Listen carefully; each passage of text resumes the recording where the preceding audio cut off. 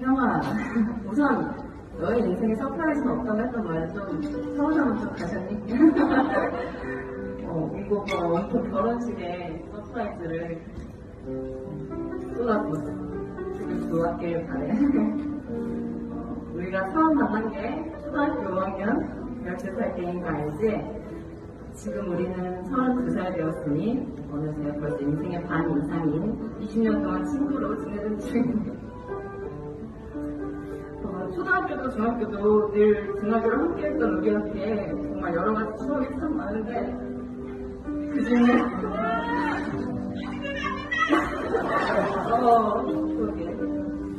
그 중에